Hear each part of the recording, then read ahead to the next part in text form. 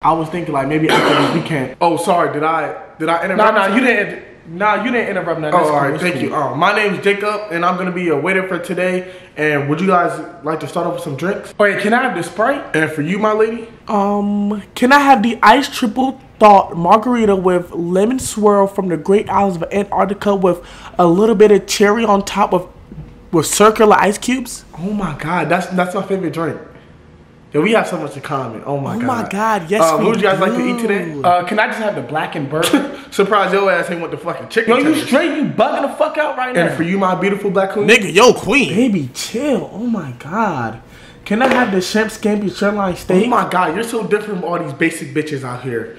Would you like to customize that a little bit more? Oh my god, yes. Instead of the fries, can I have a the rice and beans on the side, Mexican style? Bro, that'll go so good with this meal. Oh my god, yes, I got you. I got you. Hold on, wait, you said you want that burger, right, nigga? Yeah, I, I, I want the black burger, bro.